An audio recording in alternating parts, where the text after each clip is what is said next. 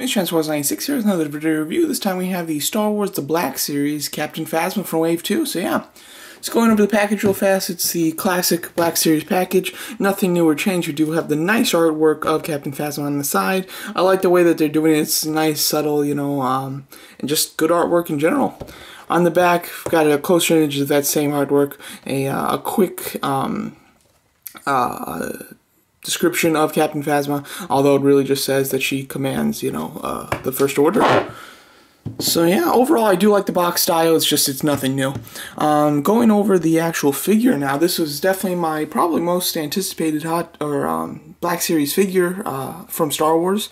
I'm very excited for this character. I think that she has the potential to be the coolest character in the film, or she could definitely have the potential to be really underused in the film. It really depends. Uh, we'll have to see, but um, a lot of people are, are uh, you know, really like this character, and because of that, the toys, basically from any series that has Captain Phasma in it, her toy is the rarest of the series. I was able to get this on eBay. Uh, I paid $37, which was just, it was overpriced. You know, like, I've been watching it on eBay for a long time, and when I saw that price, you know, I was actually making an offer, and I made an offer of 37 because that was by far the cheapest I had ever seen uh, one sell for. Like, the cheapest I think I've seen it sell for is like 44 So, I did get a good deal, but then in thinking about it, I'm like, you know, why did I overpay for this figure? Um, and then like two days later after I got it, um, Hasbro.com restocked on the, the Wave 2 figures, or actually got got them in for the first time, and I did order another Captain Phasma, so overall I shouldn't have bought it in the first place, but I did get it a little early then, so that helps uh, that helps make up for it. Overall, going over the actual figure, it is really a fantastic sculpt. It's not just a repainted Stormtrooper. Um, as you can see, the Stormtroopers are much smaller. I'm not quite sure if there are any elements from the Stormtrooper in this figure. Um, um, the legs are definitely completely new. Uh, the arms maybe have some, uh, even them, they, they look smaller. I mean, they're the same design. It's just the Stormtrooper's arms do look smaller. So I don't think that they've reused any of the parts from the Stormtrooper, which is quite nice, you know. Even though her armor is very similar, uh, it is completely new sculpt, which is great. Um, going over the, uh, the helmet here, overall it looks fantastic. I really do like this helmet design just in the movie in general. It's it's basically a stormtrooper look. Uh, however, it has some extra lines and some extra texturing in the black areas. And then instead of the edges curving in like a stormtrooper, they bow out, which is really quite nice. And from the back, she's got a very Darth Vader shaped helmet, which I think is pretty cool, especially with that black cape. You know, it looks like Darth Vader with the silver helmet overall really do like that that face sculpt. The armor on the uh, the actual figure itself is quite nice as well. Uh, basically the same as a Stormtrooper, just larger, and then she has uh, different feet. They're a little more pointed with an extra guard up here, and then the um, there's this extra kind of extra uh, piece of armor that goes around the shin here, just just above the ankle overall really nice. She does even still have the clip to hold a pistol. Um, so you know what? I, I just I'm just noticing that now. I've got a Finn right here, and I, I have Finn hold that weapon. So Let's see. It should be able to stick in. There you go. Yeah, it doesn't look like she actually has a pistol in the movie. However, you could um, use this if you want. You know, paint it in that uh, that kind of light gold uh, like she has on her gun, and then paint it on the uh, the handgun. That would be kind of neat. But overall, it is nice that uh, it still is functional, which is cool. Alright, now going over the actual cape, the cape is quite nice. I really do like the design of the cape in the movie, you know. It's not like a full-on cape, it's it's more of um uh shoulder, you know, kind of drapery almost. You know, I don't know quite how to uh, describe it, but I do like the fact that it does go over one of her shoulders, and then because of that, is at the bottom here, it is at uh, quite an angle. I like the way that sculpted a lot. It's pretty simple. They've got a lot of nice lines there, and then they do have a red stripe on the side. Um, a little bit of uh, paint uh, that's not so even there You've got that one little extra line of red paint. And then based on where that crease is, it looks like the red doesn't hit that crease in a lot of areas too. But overall, it's, it's very unnoticeable and nothing too bad.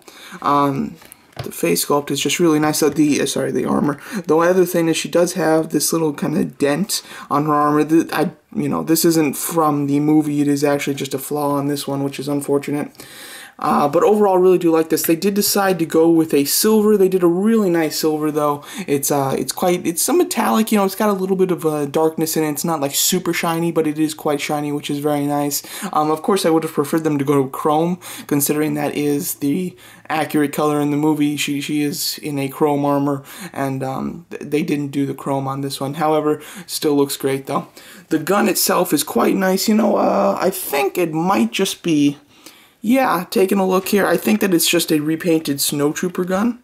Uh, which I really like. I love the Snowtroopers guns. Um, I think that they're 10 times better than the Stormtroopers. Uh, the Stormtroopers gun is just, it's too big to be a handgun, yet in my opinion it's just too small to be a gun that's held with two hands. This is a nice size weapon with the stock. Um, it's basically the same thing as the Stormtroopers weapon, just with the stock. And I think the stock is just really nice. It adds some extra uh, uh, bulk to the weapon and allows it to look cooler when it's being held with two hands.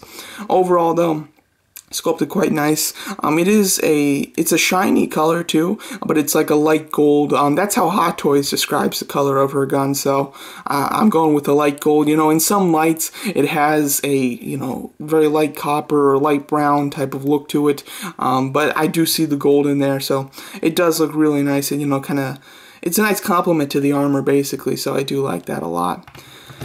Going over articulation, and uh, that's what the Black Series is really known for. Also, it, she doesn't, there isn't like an actual hole with the trigger that her finger goes in. Um, it's just kind of like a sculpted uh, uh, raised section right here. And her hand fits uh, uh, the handle really nicely. They sculpted it very well, so it stays completely in her hand, no issues uh, whatsoever, even though it doesn't have a finger that goes into the hole of the weapon.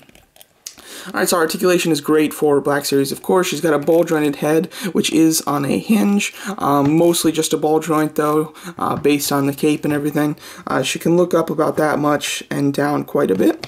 It's got ball hinge shoulders, hinge swivel elbows. Um, of course, I really wish that the Black Series adopted a ball, uh, sorry, double jointed uh, elbows. That would be much nicer for holding the weapons. However, her bend on her elbow is superior to the Stormtroopers, so you can get a better um, uh, better bend so that she can hold the weapon uh, more naturally and closer to her chest rather than having the weapon being held so far down like you basically have to do with the stormtroopers here. Because that's about as tight as a bend, of a bend that you're going to get on the stormtroopers.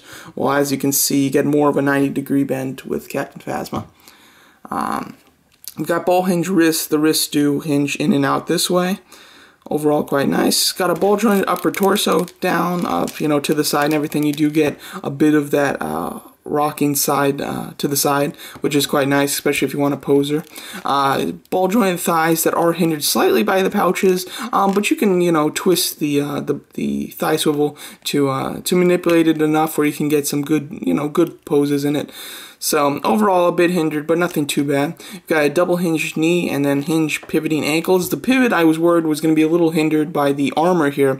However, it doesn't seem to be armored what or hindered uh, whatsoever, which is very nice overall just a really fantastic looking figure and uh, well articulated and just the character design is so cool looking you know it's just uh, a, a chrome uh, stormtrooper with a cape i mean it doesn't get better than that some size comparisons here. Well, first of all, let's just compare with the um, Elite Series counterpart. Here's the Elite Series Captain Phasma.